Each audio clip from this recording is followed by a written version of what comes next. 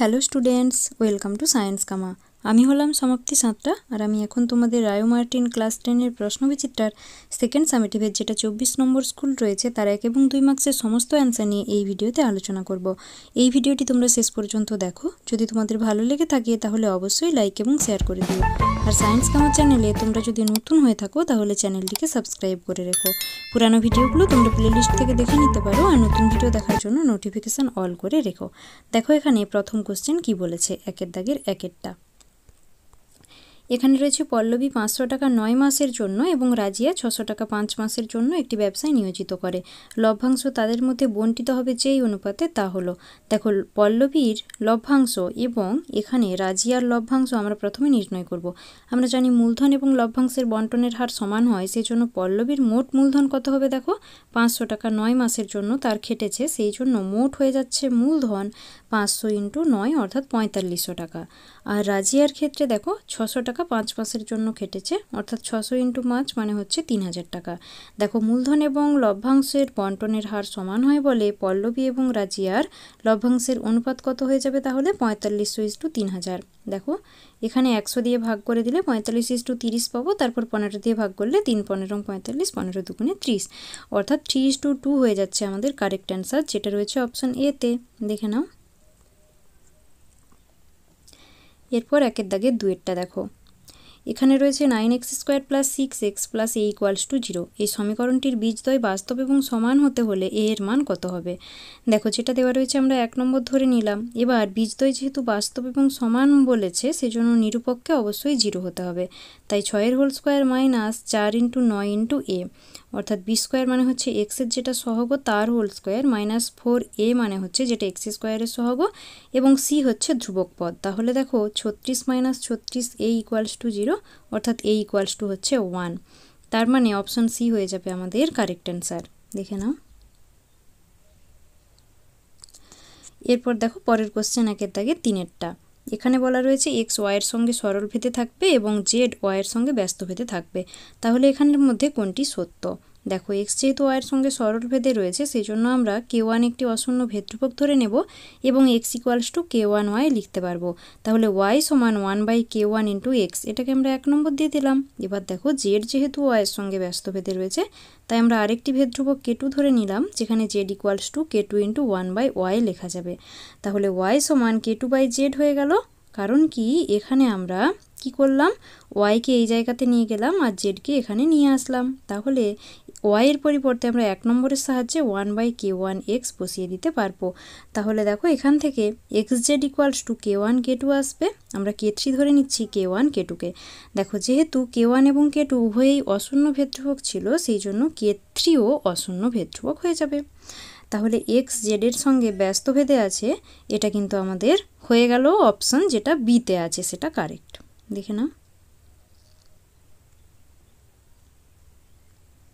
এরপর দেখো পরের কোশ্চেন একের দাগে তিনেরটা। সরি একের দাগে চারেরটা।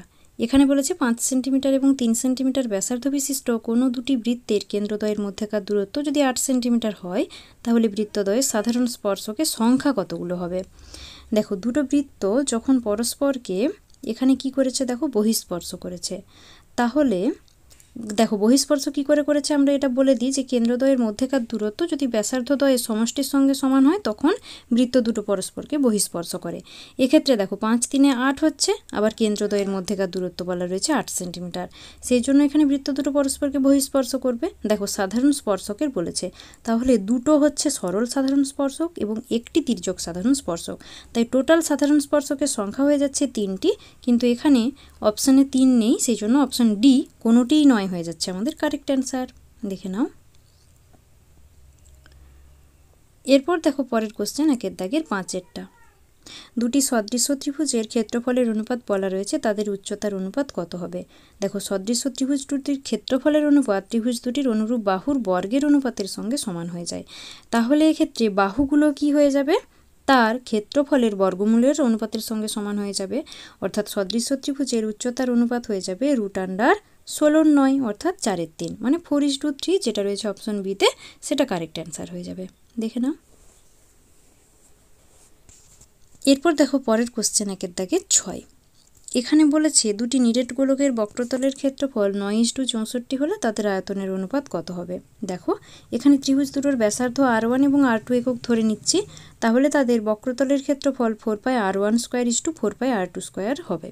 যেহেতু বলা রয়েছে ক্ষেত্রফলের অনুপাত নয় ইস টু চৌষট্টি, সেই জন্য এখানে দেখো আমরা কি করলাম four pi r one square is to four pi r two square সমান নয় ইস টু চৌষট্টি লিখলাম।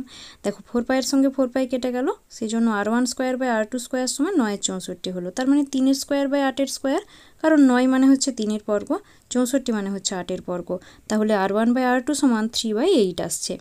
এবার চারের তিন পায়ে r one cube is to চারের তিন পায়ে আর টু কিউব করব। দেখো চারের তিন পায়ে চারের তিন পায়ে কেটে যাবে। তাহলে r one cube is to r two cube. এবার এখান থেকে আমরা লিখতে পারি আর ওয়ান বাই আর টুর হোল কিউব। তার মানে তিনের আটের হোল কিউব হবে। দেখো, তিন তিরিককে নয়, তিন নং সাতাশ হচ্ছে। আর এখানে আট আটতে চৌষট্টি, চৌষট্টির সঙ্গে আট গুণ করলে হচ্ছে পাঁচশো বারো। তার মানে সাতাশ ইস টু পাঁচশো বারো হয়ে যাচ্ছে গোলক দুটির আয়তনের অনুপাত।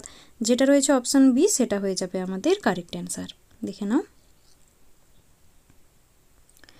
এরপর দেখো পরের কোশ্চেন অর্থাৎ একের দাগের সাতেরটা।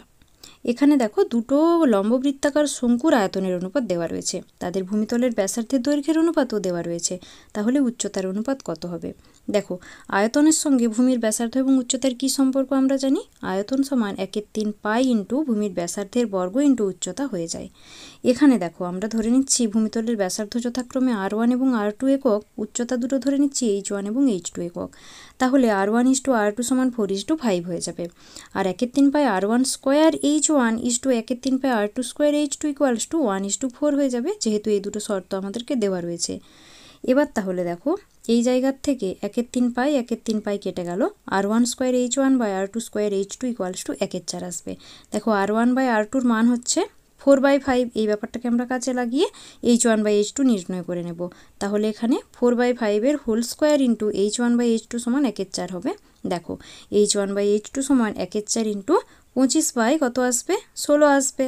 দেখো, এখানে ষোলোর সঙ্গে চার গুণ করে চারশো লং চৌষট্টি পেয়ে যাব। আর লবে থাকবে শুধুমাত্র পঁচিশের সঙ্গে একের গুণ করে পঁচিশ। তার মানে h one is to h two সমান পঁচিশ ইস টু চৌষট্টি। শঙ্কুদয়ের উচ্চতার অনুপাত হচ্ছে পঁচিশ ইস টু চৌষট্টি। এটাই হয়ে যাচ্ছে আমাদের কারেক্ট অ্যান্সার দেখে নাও, এটা রয়েছে অপশান ডিতে দেখো দেখো দুয়ের দাগের এক এক্স স্কোয়ার ওয়াই জেডের সঙ্গে সরল ভেদে রয়েছে ওয়াই স্কোয়ার জেড এক্সের সঙ্গে সরল ভেদে রয়েছে এবং x square sorry z square x ওয়াইয়ের সঙ্গে সরল ভেদে রয়েছে। ভেদ্রুবক তিনটির গুণফল আমাদেরকে নির্ণয় করতে বলেছে। দেখো এক্স স্কোয়ার যখন ওয়াই জেডের সঙ্গে সরল ভেদে থাকবে, তখন কে ওয়ান একটি অশূন্য ভেদ্রুবক ধরে নিলে x square equals to k one y z লেখা যাবে। তার মানে কে ওয়ান সমান x square by y z এটাকে আমরা এক নম্বর দিলাম। দেখো যেহেতু ভেদ্রুবক তিনটির গুণফল নির্ণয় করতে বলেছে, তাই আমরা ভেদ্রুবকগুলোকে আলাদাভাবে এক্স ওয়াই জেডের আকারে সাজিয়ে নেব। দেখো ওয়াই স্কোয়ার যখন জেড এক্সের সঙ্গে সরল ভেদে থাকবে, তখন y square equals to k two z x লেখা যাবে, যেখানে কে টু একটি অশূন্য ভেদ্রুবক তাহলে কে টু সমান y square by z x হলো, এটাকে আমরা দুই নম্বর দিলাম। আবার যখন জেড স্কোয়ার এক্স ওয়াইয়ের সঙ্গে সরল ভেদে থাকবে, তখন z square equals to k three x y লেখা যাবে, যেখানে কে থ্রি একটি অশূন্য ভেদ্রুবক তাহলে কে থ্রি সমান z square by x y হলো, এটাকে আমরা তিন নম্বর দিলাম। দেখো, k one, k two, k three সমান তাহলে কত পেয়ে যাব? X square by y, z into y square by z x into z square by x y. দেখে নাও, k one, k two, k three আমরা এক নম্বর, দুই নম্বর এবং তিন নম্বর থেকে পেয়ে গেলাম। এবার দেখো, গুণ করলে x square y square z square by x square y square z square আসবে, তার মানে কাটাকাটি করলে শুধুমাত্র ওয়ান আসবে। অর্থাৎ ভেদ্রুবক তিনটির গুণফল হয়ে গেল ওয়ান এবং এটাই হয়ে গেল আমাদের কারেক্ট অ্যান্সার। দেখে নাও। এটা তোমাদের আগেও কিন্তু আলোচনা করা হয়েছিল। এরপর দেখো দুয়ের দাগের দুয়েরটা।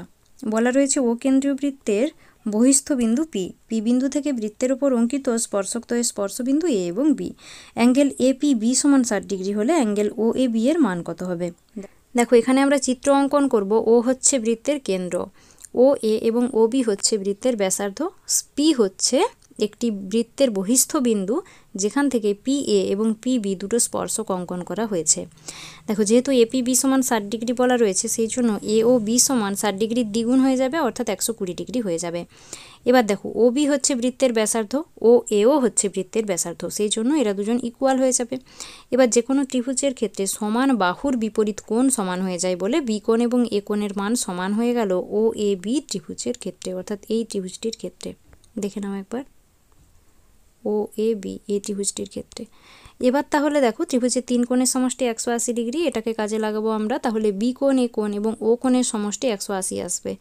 এবার দেখো, two into angle o a, b সমান একশো আশি মাইনাস একশো কুড়ি, কেন কি? কারণ এ ও বি সমান একশো কুড়ি আমরা পেয়েছিলাম। তার মানে অ্যাঙ্গেল ও এ, বি সমান ষাট ডিগ্রি বাই টু, অর্থাৎ তিরিশ ডিগ্রি আসছে। আমাদেরকে অ্যাঙ্গেল ও এ, বি এর মানই নির্ণয় করতে বলা ছিল। আমাদের মান কত আসলো তাহলে? তিরিশ ডিগ্রি আসলো এবং এটাই হয়ে গেল আমাদের কারেক্ট অ্যান্সার। দেখে নাও।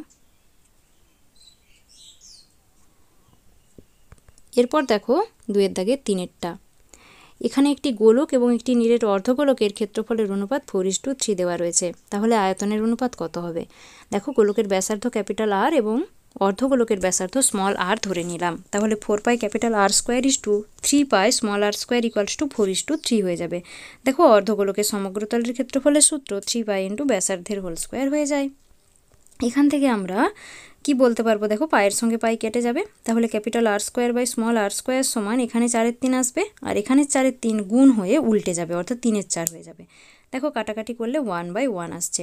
অর্থাৎ capital r by small r equals to one by one আসছে। কীভাবে পেলাম? উভয় পক্ষের বর্গমূল করে পেলাম। অর্থাৎ গোলক এবং অর্ধগোলকের যখন আমরা আয়তনের অনুপাত নির্ণয় করব, তখন চারের তিন pi capital r cube is to দুয়ের তিন পাই স্মল আর কিউব হয়ে যাবে। দেখো, অনুপাত আকার থেকে আমরা ভগ্নাংশ আকারে লিখলাম, তাহলে পাইর সঙ্গে পাই কেটে যাবে, আর এখানে একের তিন একের তিন কেটে যাবে। দেখো, দুইয়ের সঙ্গে চার কাটলে একটা দুই থাকবে। অর্থাৎ টু বাই ওয়ান আসবে, কারণ capital r by small r এর মান হচ্ছে ওয়ান ওয়ানের হোল কিউব করা মানেও ওয়ান আসবে। অর্থাৎ টু ইস টু ওয়ান হয়ে যাচ্ছে গোলক এবং অর্ধগোলকের ক্ষেত্রফলের অনুপাত এবং এটাই হয়ে যাচ্ছে আমাদের কারেক্ট অ্যান্সার দেখে নাও।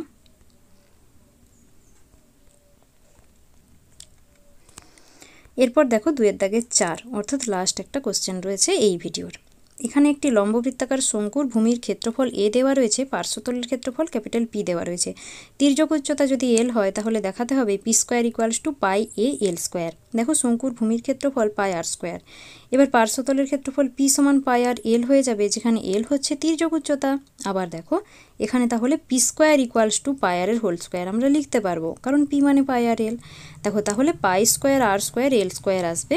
এবার আমরা এখানে পাই স্কোয়ারকে সাজিয়ে লিখছি, একবার পাই আর স্কোয়ার লিখছি আর একবার পাই এল স্কোয়ার লিখছি। তাহলে এ ইন্টু পাই এল স্কোয়ার আসবে, যেহেতু পাই আর স্কোয়ার সমান এ এই যে এখান থেকে আমরা বসালাম। তাহলে দেখো p square equals to a pi l square এটাকে সাজিয়ে আমরা লিখব যেইভাবে আমাদেরকে প্রমাণ করতে বলা রয়েছে। তাহলে p square equals to pi a l square এটা প্রমাণ করতে বলা ছিল, এটা আমাদের প্রমাণ হয়ে গেল। তাহলে শুধুমাত্র ভূমির ক্ষেত্রফল এবং পার্শ্বতরের ক্ষেত্রফল এই দুটো ধারণাকে এখানে কাজে লাগাতে হয়েছে। তারপর ক্যালকুলেশন করে দিলেই কিন্তু p square equals to pi a l square প্রমাণ হয়ে যাবে। দেখে নাও। দেখো, এইগুলোই ছিল তোমাদের চব্বিশ নম্বর স্কুলের এক এবং দুই মার্কসের সমস্ত অ্যান্সার এই ভিডিওটি শেষ পর্যন্ত দেখার পর তোমাদের কেমন লেগেছে অবশ্যই কমেন্টে জানাবে। যদি ভালো লেগে থাকে, তাহলে লাইক এবং শেয়ার করে দেবে। আর সায়েন্স কামার চ্যানেলে তোমরা যদি নতুন হয়ে থাকো, তাহলে চ্যানেলটিকে সাবস্ক্রাইব করে রাখবে। শেষ পর্যন্ত ভিডিওটি দেখার জন্য অসংখ্য ধন্যবাদ। সবাই মন দিয়ে পড়াশোনা করবে, ভালো থাকবে।